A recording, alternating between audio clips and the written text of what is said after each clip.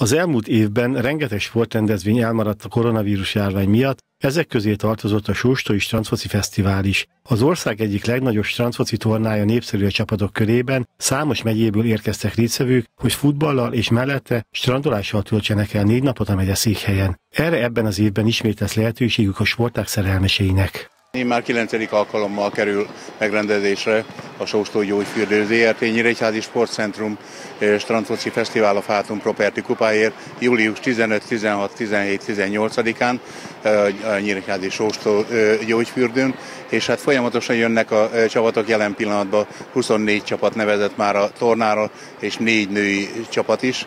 Érkezett, ővelük nyitjuk majd a csütörtöki napon 15-én a, a tornát. Várunk újabb csapatoknak a nevezésére, hiszen gyakorlatilag ez a torna az ország legnagyobb standfoci fesztiválja, és általában 42-46 csapat szokott rajta részt venni. Most valószínű, hogy kevesebb csapattal tudjuk megcsinálni, bár bízom benne, hogy jönnek még a csapatok. Egyetlen egy kitétel van, hogy az oltási igazolvány a belépéshez és a részvételhez kötelező a csapatoknak.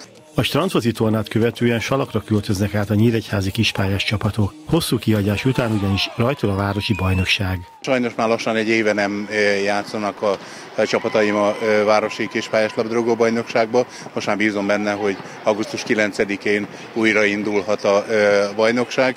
Előtte viszont 7-én ismét megrendezzük én a harmadik alkalommal a Víg István emléktornát a városi stadionba. Tehát 115 csapat már nevezett a bajnokságra, most még két hétig újabb csapatok is érkezhetnek. Várom a nevezését azoknak a csapatoknak, akik most gondolták meg magukat, és szeretnének elindulni a bajnokságba. Bár a Nyíregyházi Városi Stadionban már megkezdődnek a centerpálya bontási munkálatai, a kispályákat ez nem érinti, így továbbra is a jól megszokott környezetben játszhatnak majd a csapatok.